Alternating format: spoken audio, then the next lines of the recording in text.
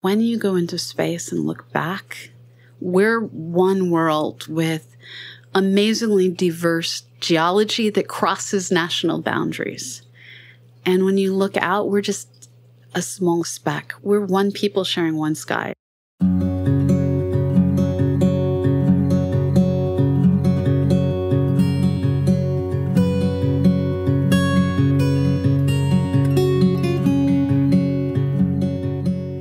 Welcome to Books and Ideas.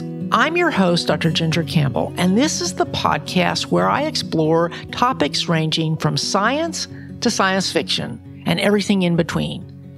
I started Books and Ideas back in 2006, at the same time I launched my more popular show, Brain Science. And I'm really happy to have Books and Ideas back on a monthly schedule.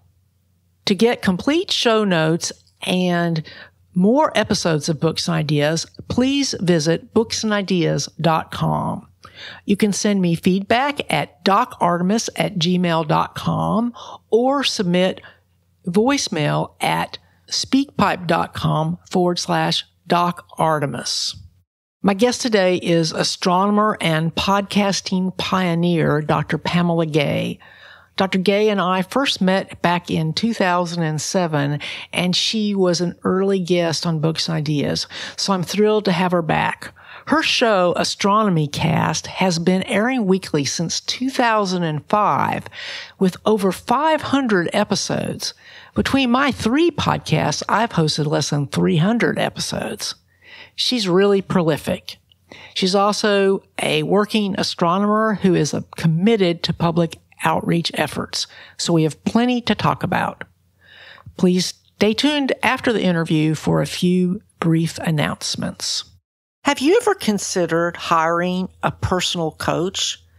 The key tool of coaching is asking empowering questions to help clients live more fulfilling lives. I'm currently training to become a certified professional coach, and I will begin to accept a limited number of clients in November 2019. Meanwhile, I'm also doing some free introductory discovery sessions. If you think you might benefit from this approach, you can email me at docartemis at gmail.com. So, Pam, it is fantastic to finally get to talk to you again. Oh, it's been a long time. And what's been amazing is we've kept running into each other at conferences across all these years. And uh, at a certain point in our adult life, it just seems like three years ago was three days ago. it's actually been now, I think, 12 years since we met. Yes. as I said, a certain point in our adult life. so, Pam, before we get started, I want to congratulate you for being one of the inductees into the 2018 Academy of Podcasters Hall of Fame. It's an honor that you really deserve. And so I just want to congratulate you again. Oh, thank you so much. It, it was awesome to get to see you there. I know that there are people who've been there since the beginning there that night. And I think you were the first science podcaster. Yes. And uh, I'm hoping for the chance to get to nominate other scientists for the work that they're doing in this crazy online medium that we've all been developing. So, since it has been so long since we originally talked, I think you were on an episode of Books and Ideas in 2007. Why don't you just start out by telling my audience a little bit about yourself, who you are, what you do, and then tell us about your podcast. so, my name is Dr. Pamela Gay. I'm a senior scientist at the Planetary Science Institute, which it's headquartered out of Tucson, Arizona, but the hundred some odd researchers that work for the Planetary Science Institute are actually scattered all over the world, which helps cut down the price of science and uh, eliminate the two body problem where people are married and you have to try and find jobs for both people in one place. It's a really progressive organization, and I'm really proud to be part of it as part of the work that I do there, I am director of the CosmoQuest Virtual Research Institute, which is a facility that helps anyone who has time to do science find ways to volunteer to help us explore this universe that we share. And we look for complicated data problems that scientists have that we can't yet solve just by typing up the right algorithm. Right. And there are problems that computers can't just crunch the numbers. And computer vision just isn't there. One of the problems that we're working on right now is there's this little spacecraft called OSIRIS REx that is orbiting a near Earth object. This is an asteroid that's orbit crosses back and forth across the Earth's orbit. And this is a giant rubble pile out in space. And we want to grab a piece of it to bring back to Earth, just go down and do a touch and go theft of soil to find some place that's safe enough for our spacecraft to go in, we need to measure the locations of pretty much all the rocks that are 12 inches across, all the boulders, however many meters across they might be. And this is hard work. And people keep saying, well, why don't you just use machine learning? Well, the thing is, it might take us a million images to train a machine learning, learning algorithm to be almost good enough compared to a human, but they'll never be good as a human at this stage in writing the software. And we only have 4,500 images to do. So I have fewer images than I would need to train that algorithm. So we have to do all of these by hand. We really don't have a choice. Okay, that makes sense. So, how does this relate to your original training in, in astronomy? Because I remember we talked about that years ago. So my my master's work was studying variable stars in the Ursa Minor dwarf spheroidal galaxy, and that took me from my field stars, looking at pulsating variables in our galaxy that I did as an undergrad, out to galactic astronomy, and from there I jumped to studying the evolution of galaxies and clusters to do my PhD. And that led me to getting involved with the Galaxy Zoo project and helping to write software and design websites that eventually became the Zooniverse and allowed everyday people all over the world to contribute to doing science. Back in 2012, I collaborated with a bunch of folks with a variety of different NASA spacecraft to build CosmoQuest, which would go that next step further and go from just engaging people in doing the science to also taking the time to mentor them, to educate them using new media. So I finally brought in the podcasting that I've been doing since 2005 and with CosmoQuest, we bring it all together in one place the podcasting, the educational content, the science, the software. And it all works together to, well, in this case, we're going to find that place that Osiris Rex is going to grab a rock once we can get this rock from the okay. Osiris rex is the spacecraft. the spacecraft. Does the near earth object have a name? Yeah it's called bennu b-e-n-n-u and it's literally a rubble pile. It looks like some interplanetary dump truck had been slewing along through the solar system hit who knows what and just dumped its load out into space. It's it looks like nothing more than thousands to millions of rocks and boulders that are just barely gravitationally held on to one another. It's not like the Earth's moon. It's not like any of the asteroids we've looked at before. It's it's this horrifying rubble pile in space that really doesn't offer any safe place that is clearly what we were hoping for on its surface to go grab that soil sample. So when we grab the soil sample, we won't the spaceship won't land. They'll just try to It's a touch and go. The way to think of it is if you've ever been uh, vacuuming up spider webs and you just shove your vacuum into the corner of the ceiling and pull it out again and you've grabbed all those spider webs. Well, this spacecraft has something that's not truly a vacuum cleaner, but it's a hose that has little bristly bits at the end that, or in this case, little tready bits at the end that will help suck up material into what I describe as an angry vacuum cleaner. So it's going to go in with its nozzle, grab the sample that's going to be pebbles and dirt and who knows what, and stick all of that in a container that it's then later going to throw at the planet Earth. And it will pass through our atmosphere in the capsule that's been designed to go through our atmosphere. and it's going to be put into a very special containment vessel here on Earth so that there's no chance of any of the dust, grains of particles, molecules getting contaminated by us or us getting contaminated by it. We're going to use this to study what is the composition of this really weird object so close to our own planet in the solar system. Okay. So beyond learning what the composition of this garbage pile is, what kind of fundamental questions will that give us clues about? We still don't really know where solar systems come from. We have these big picture ideas of it all starts with a giant cloud of dust and gas, and something sends that cloud collapsing and fragmenting. And one of those fragments collapses down and spins up, and planets and a star pop out the other side of this process. But all these intermediate stages, we don't fully understand. We keep finding solar systems that defy all of our prior expectations. And once a solar system forms, we don't know how much it changes over the millions and billions of years that these solar systems exist. We think in our own solar system, that Saturn and Jupiter are responsible for flinging Uranus and Neptune out into the outer parts of the solar system. And during that amazing age of flinging worlds around, they also threw things inwards, causing an era of great heavy bombardment. And these asteroids are the leftover pieces, things that didn't actually get flung into a planet.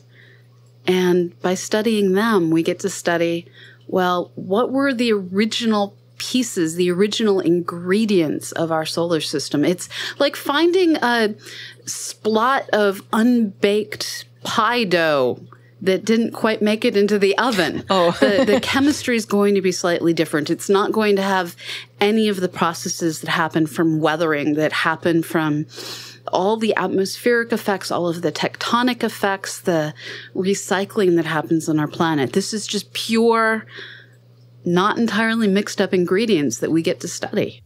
So, how, how many years do you think it's going to take to finish this project? Our mapping project, we're currently in overtime.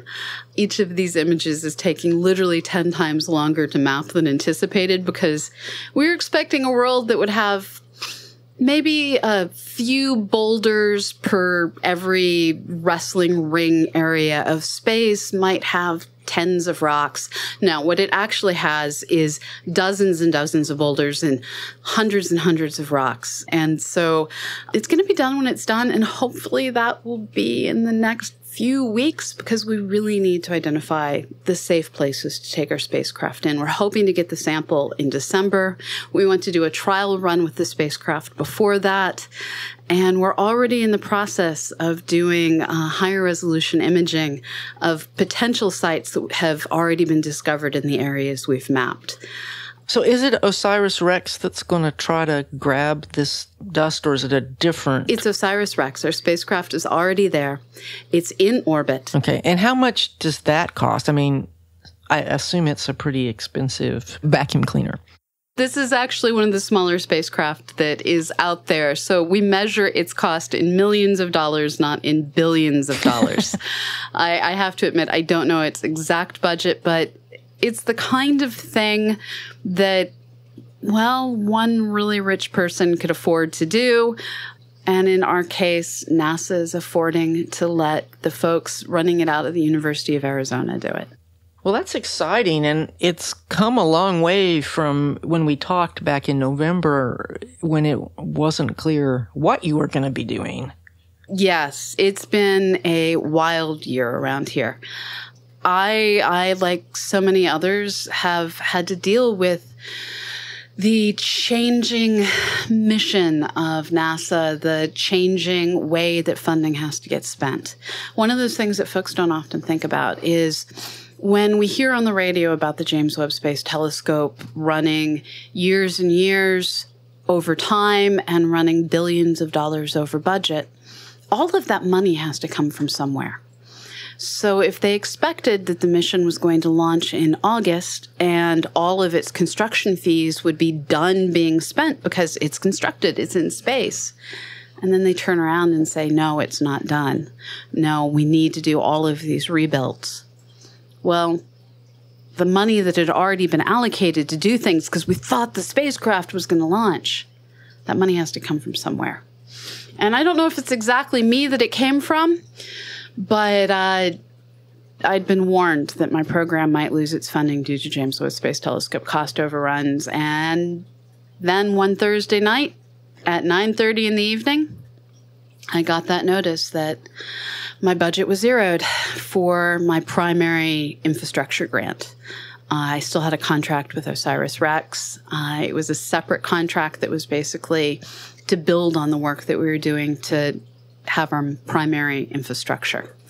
So we've been keeping our website going, keeping our infrastructure going, thanks to the amazing donations of people all over the world who recognize that sometimes it's not our governments that can fund science because, well, they have limited resources.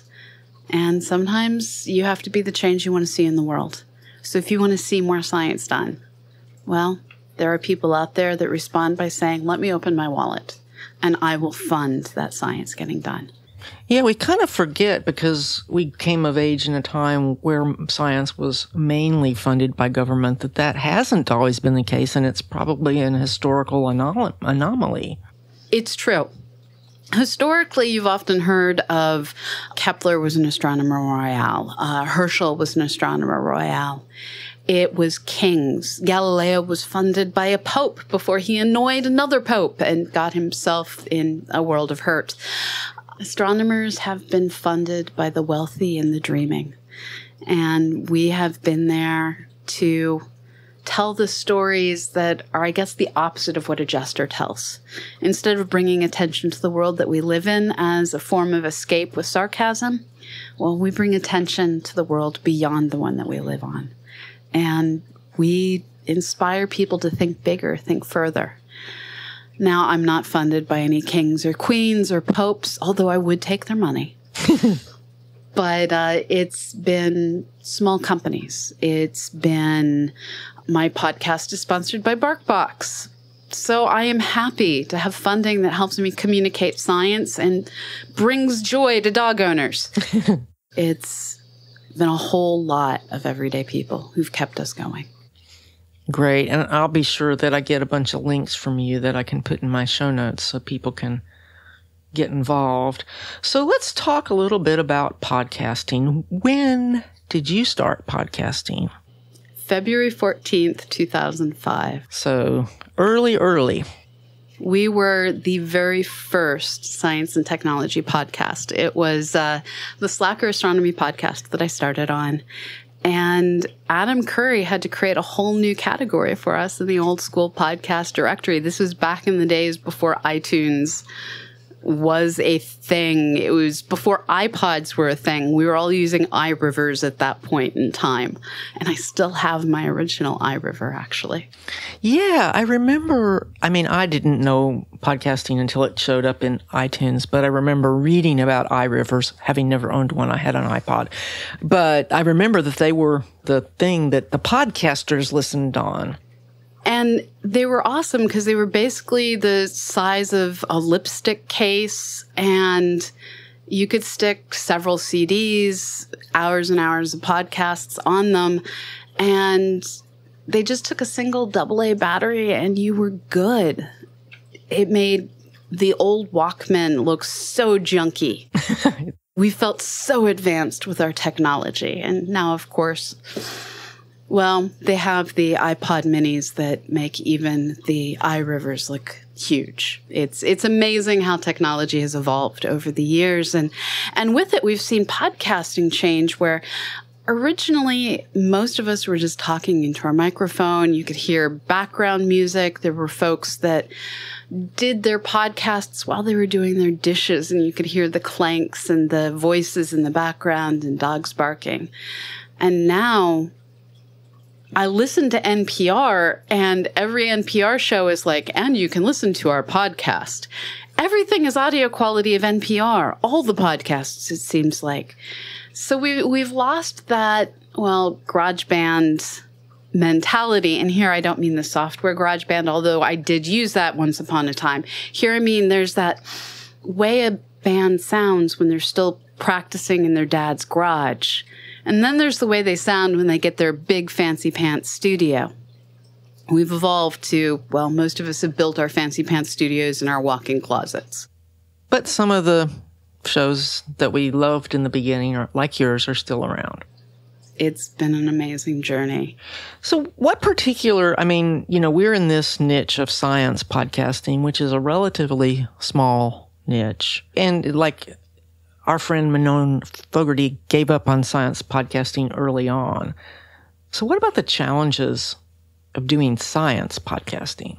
Well, I think the challenge of doing science podcasting is the same as the challenge of doing science writing, of doing science journalism, of doing science. And it's that when you tell someone, in my case, I'm an astrophysicist, in your case, I'm a doctor, they're sort of like, oh, you're smart, that's scary. And sometimes they respond by looking at their shoes. And sometimes, if they're really outgoing, they respond by looking at your shoes. we scare people, and we have to find ways to change the mentality of the public, to take it from being one of science is this thing that we see the nerds are made fun of on most television shows. There's entire television shows dedicated to making fun of nerds. The Big Bang Theory is, is basically one long stereotype that has been made pleasurable, but really, it's kind of making fun of nerds in order to get listened to, we have to go from, hey, we're talking about this big, scary science thing, to making people feel that they're welcome and they can understand, and that we're not going to talk down to them, but we're going to assume if they're out there listening, they are smart enough to have the ability to learn if we only take the time to explain you can explain what you do in medicine to me, and I'm not educated to understand that stuff. I can explain to you what I do in astronomy. We're in totally different fields, and we can learn each other's field because we take the time to break it down. We just have to convince audiences to trust us, that we will give them a safe place to learn. That's always going to be hard. There's always going to be more fiction writers than science writers. There's always going to be more people passionate about the science fiction podcasts than about the science podcasts. And the science fiction are even a small category, but they're bigger than us. It's just hard. Nerds are having a revolution. It is our heyday, but we still have a long way to go. Yeah, but I think that you touched on something really important that not talking down thing. I mean, that's what I've learned from brain science is people, they don't want to be talked down to. They don't even have to understand every little thing as long as you don't talk down to them. And once we recognize that we all have something to learn from each other, it makes it easier. And I've learned so much from members of my audience who've seen me struggling with this thing or that thing in terms of my website, our logos, and They've just reached out and said, "Hey, let me show you." And so it's it's become not just me pushing content out to the audience, but the audience reaching back and saying, "Here, let us help."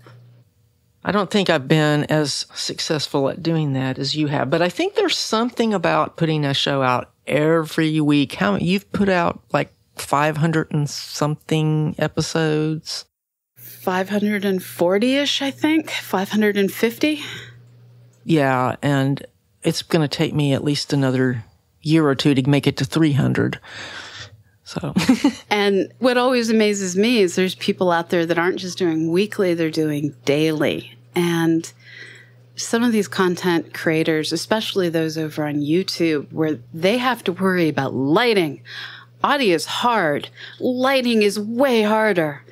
To see them, we can find our own inspiration. And this is one of the really cool things about the science communications community is we help lift one another up. And so I take my inspiration of, oh, what I have is nothing. I look at what the YouTube folks are doing day after day. And we just have to keep finding our own role models to push us forward.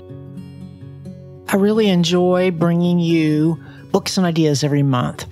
Even though brain science is more popular, I love having the freedom to cover a wide variety of topics. But since Books and Ideas is too small to attract advertising, I've set up a Patreon account to help defer the cost of producing the show, such as hosting and audio editing. If you're already supporting brain science via Patreon, there's no need to make a separate donation.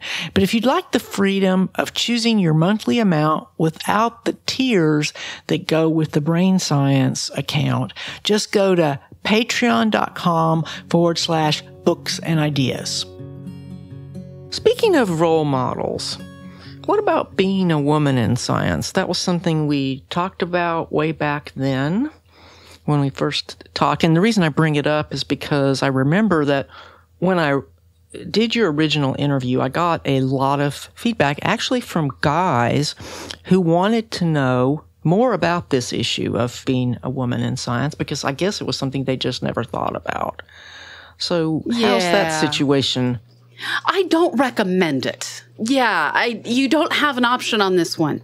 I recommend being a scientist, but the whole woman in science, I'd rather just be a scientist. But the problem is you and I will always be women scientists instead of just scientists. We will always be women podcasters instead of podcasters. There is this weight of microaggressions, macroaggressions, and just plain, I don't know if I can swear, but I'm going to say ass hattery involved that we have to deal with that men don't generally have to deal with. In podcasting, the the way that it first raised its ugly head to me was Fraser and I, Fraser's my co-host on Astronomy Cast and he's publisher of Universe Today, Fraser Cain we started getting, and we got a bunch of these emails, one after another, every few months, and they all started out, "Dear Mr. Cain" or "Dear Fraser," and they'd be sent to both of us, but they'd only be addressed to Fraser. And the first paragraph would start with, I am not a PhD astronomer, but, and they'd list off some sort of a qualification like a PhD in physics, a master's degree in engineering, and they inevitably would have been in the workforce since before I was born always a man. The next paragraph would be We demand an apology on air because your co host, Pamela, not Dr. Gay, is glib, is doing a disservice to science is they'd always find something in terms of by popularizing astronomy i was doing it in a way that was not respectful to the field because i was not making it dry and boring that isn't what they said but that's what they meant Well, you're in you're in good company there with Carl Sagan. You know, It's true. but the third paragraph was the real killer. It was always, and if you need a new co host, I am available. nice male co-host. Oh, so the first time we got one of these, I was sitting at my desk. I was a baby assistant professor and I was absolutely devastated. And I'm trying to figure out how to write back, how to apologize for being too glib. And while I'm sitting there being devastated, and this is back in the days when we were all paying for our bandwidth, we still pay for our bandwidth, but it's not the same concern it was then. I see Fraser's response pop up in my email, and it was along the lines of Dear so and so, thank you for your feedback. Please understand we provide this show to you for free. If you do not like our show, please stop consuming our bandwidth. May I recommend? And then he listed off three or four different podcasts. And that idea that you could just say, go away, that's something that made me so glad to have Fraser in my life because once we'd gotten like a dozen of these letters, I saw the pattern and I realized, ah, here's the real problem. I'm young and I'm female. Only one of those do you get to outgrow. It was hard. And then as you grow in popularity, you start getting the random someone in your comments is talking about sexual acts they do to your voice or the times that you get doxxed where someone publishes all of your address and phone number information just to try and make you feel threatened. And these things just make it hard, but you can brush them all off. The thing that makes it really hard is all the times you go to a conference to be a scientist, to talk to people about science. And you find yourself trying to find a wall to lean up against so no one will slap your butt as they walk by and crossing your arms so no one grabs a boob. These are all things that have happened to me over and over and over again. And I eventually reached the point where I was senior enough in my career that I thought as an officer in professional societies, I'd finally have the power and the voice to make things that got reported actually have something happen to the person who was doing the harassing. So back in 2015, I had multiple groups of people come to me and report a single individual. Two totally different sets of people that had different clumps within these two different groups during the reporting. And I was an officer of multiple professional societies, so I moved forward with the complaint. And the result of that was both societies said, we don't have any guidelines for dealing with harassers. These actions did not take place during an officially sanctioned meeting, by which they meant in the room that a official event was in that moment happening. So during lunch, during dinner, at a conference didn't count. The guy who I was trying to act on the complaints sued me for $33 million. And I just finished spending three and a half years of my life dealing with that legal case. And it is devastating. I switched jobs twice to escape retaliation at two different organizations. And the retaliation was because of this lawsuit, because I reported harassment. I dealt with the financial blowback. I had insurance that covered most of my legal bills, but it didn't cover all the grants I didn't have the energy to write, all of the retaliation that led to opportunities being lost. I don't think I'll ever have the career I would have had if that lawsuit had never happened. It's a step function. I lost an entire step. And this is why women don't report. And this is why it's crazy when somebody says, Oh, she just made that up. It just makes no sense given what happens to a woman when they report and what really gets me is when a, another woman will say, well, why did she wait so long? I don't believe her because she waited so long. Duh. When the person does report, they usually do it because they feel like they've got an obligation to other people and they're, they've decided that they are going to pay the price. Mm-hmm. And that's always what it is. The first time that I came forward about someone who had harassed me, it was because I found out that he'd gone on to rape people. And I always wondered if I had said something back in 2000, I think it was 2007. If I, no, it was 2008. It was 2007 or 2008. I have it in my notes. I don't have it in my brain. But I remember exactly where it happened. I remember exactly when it happened.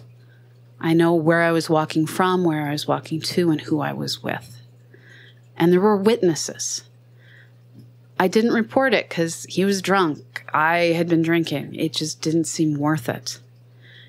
And then to find out that my silence and the silence of all these other women who were just like, it's just not worth it, gave this man essentially carte blanche to know that he could get away with it. Enough is enough. But you can't do that if you're junior in your career because you won't have a career you can't do it if you don't have a safety net. I was lucky. My my husband earns enough income that when my income tanks, we can still pay the bills. Lots of people can't do that. Right. And women don't earn as much as men, especially in academia. And we don't get advanced the same way men do. In astronomy, it goes from roughly 50 50 at the lowest undergraduate levels to about 11% at the senior levels we just leave. It's just, I almost left. I was done. I was just done. But my audience lifted me up and said, No, we want you to stay. I am so lucky. Most people aren't as lucky as I am. So the bottom line is that things really haven't gotten any better.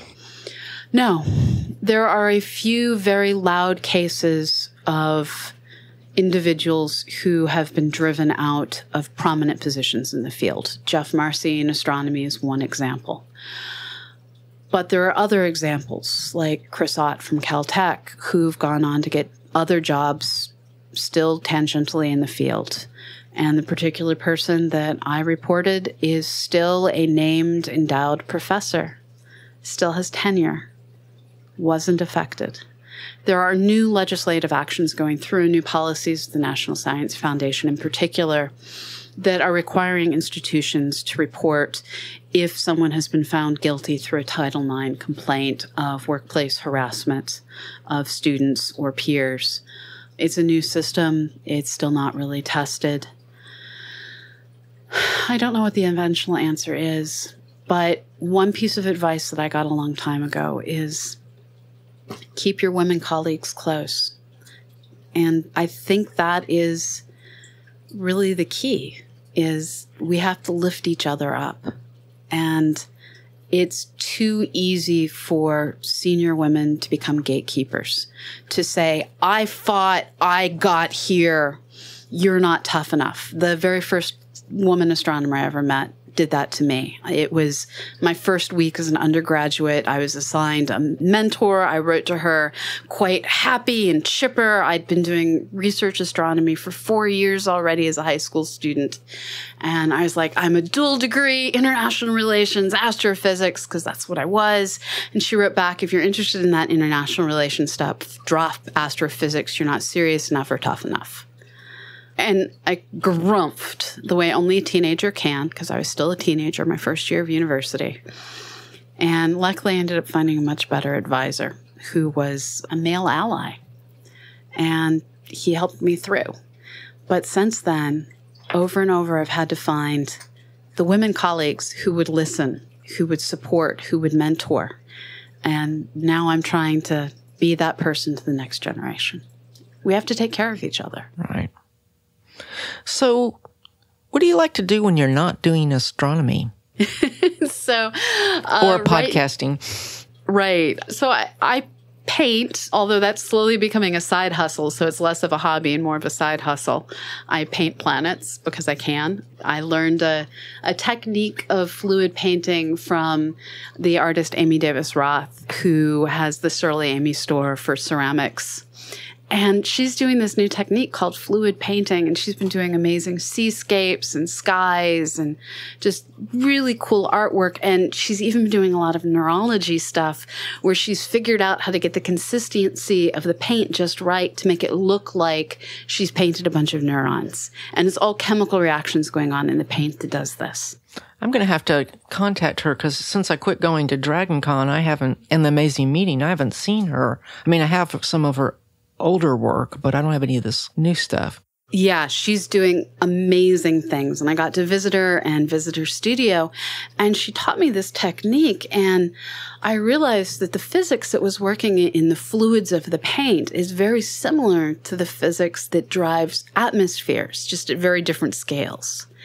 And so I've been trying to figure out how to paint more realistic gas giants to bring out different effects. It's really applying all of this science in a very, very nerdy way to doing acrylic painting. Um, and I sell it all on Etsy because side hustle. I'm a scientist. We don't earn a lot of money. But I also I have three dogs. One of them is a foster dog for Central Aussie Rescue and Support, and I've been really enjoying fostering dogs for them. I used to ride horses, but I don't have the money for a horse right now, so I'm just fostering stray dogs. Literally fostering stray dogs right now. So I usually ask for advice for students, and I think there's been a little embedded into the conversation. but if you'd like to address that question directly, the best advice that I can give to any student is when you're picking a research advisor, don't pick based strictly on who's doing the best science, who's doing the stuff that you're most interested in. Find the human being that you most get along with because you're going to be spending a whole lot of time with that person. Work with that person who you like as a human being to learn how to do science and it will serve you well because that person is going to be tied to you for the rest of your life. We don't think about it, but we're actually developing an academic pedigree.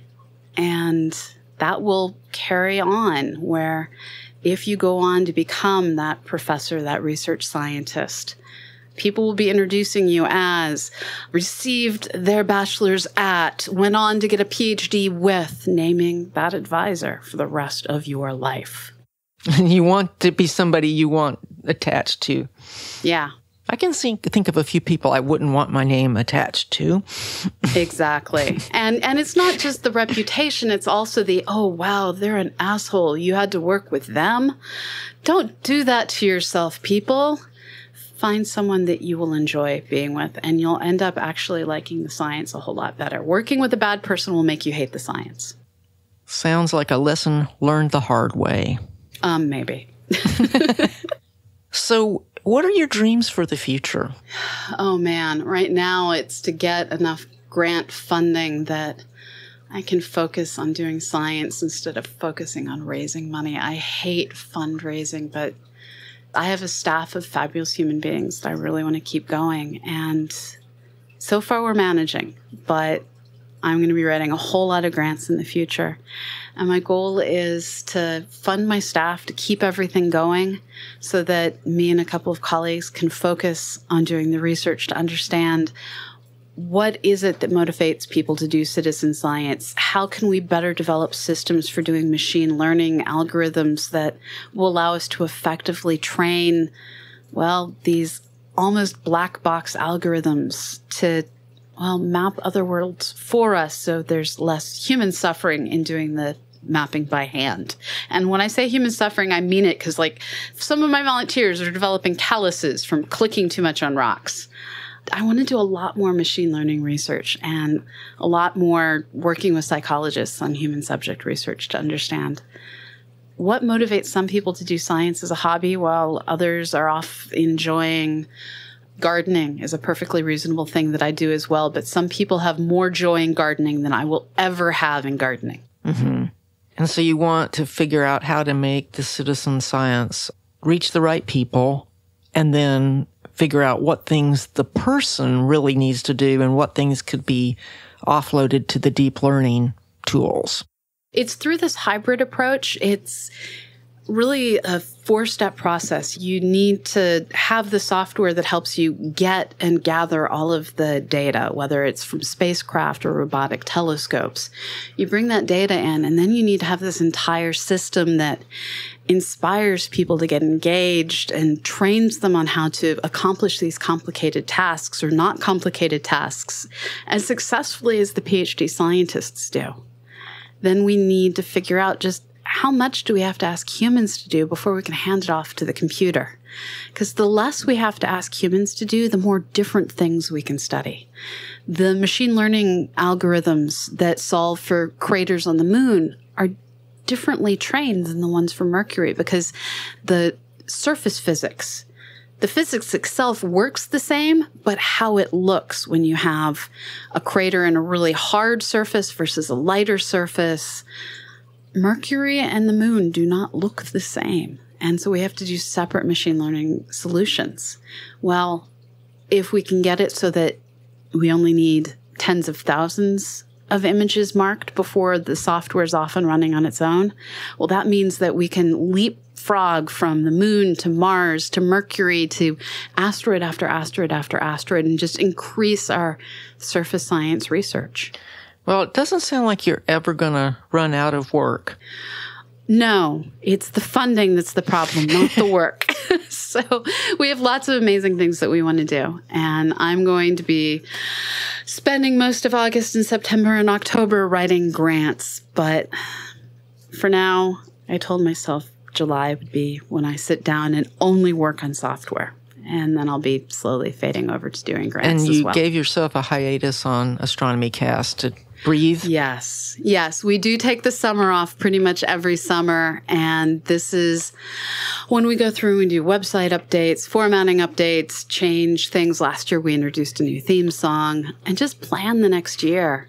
We're thinking next summer we're probably going to do a trip somewhere I am personally wanting to go to Yellowstone, but we're still figuring these details out. So our summers are planning and building time. And it's just easier if we don't have the deadlines of getting a new show out every week to add on to that. Well, I tried to put my show out, my new show out every week. That lasted for three months. well, th- this is where I'm lucky because we have peoples. It's not just Fraser and I. We're the only voices that you usually hear on the show. But we have Susie Murph who does both our audio engineering and she maintains our website. I've always seen Susie Murph posted for Astronomy Cast. I get a, like a notice a day on her on my phone. yes. So she's been doing all of our social media. She's been doing all of our audio and website work. And then we have the Weekly Space Hangout crew, which is a swarm, I think is probably the best adjective. It's a swarm of volunteers who are there to basically cheerlead us on and fill in wherever we need. We have one volunteer that every time I get baffled by something with our Amazon Web Services account, I'm like, Have you ever encountered this? Do you know how to fix this? And he has helped me with multiple weird one off server failures. And having these people is what allows us to do what we do. Is there anything else you'd like to share before we close? I guess the one thing I'd love if everyone would just recognizes our world it seems fragmented more than ever right now with so much nationalism so much hate. But when you go into space and look back we're one world with amazingly diverse geology that crosses national boundaries. And when you look out we're just a small speck. We're one people sharing one sky, is what they say with Astronomers Without Borders. And when I go to bed tonight, I'm going to see the stars out my window and know that a few hours later, my closest friends in California will be seeing the same thing. And we just pass the stars from one to another as the world rotates.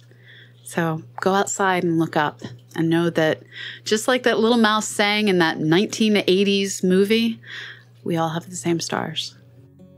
Thank you, Pam. Thank you so much. It was great to talk to Dr. Pamela Gay again. Be sure to check out her podcast, Astronomy Cast, and I will have links to the projects she mentioned in my show notes at booksandideas.com. I would love to hear what you think about this episode.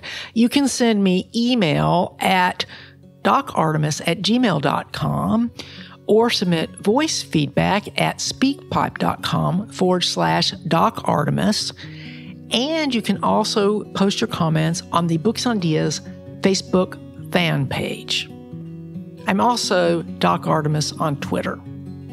You'll find all the episodes of Books and Ideas at booksandideas.com, but I hope you'll also subscribe in Apple Podcast, Google Podcast, or wherever you like to listen to podcasts. Don't forget that if you'd like an Amazon gift card, all you have to do is post a review in iTunes and send me a screenshot at docartemis at gmail.com. I'll be back again with a new episode of Books and Ideas next month on the 15th. Until then, I hope you'll listen to my other podcasts, Graying Rainbows and Brain Science. Books and Ideas is copyright 2019 to Virginia Campbell, MD. You can copy this show to share it with others, but for any other uses or derivatives, please contact me at docartemis at gmail.com. Theme music for Books and Ideas is The Open Door by Beatnik Turtle. Please visit their website at beatnikturtle.com.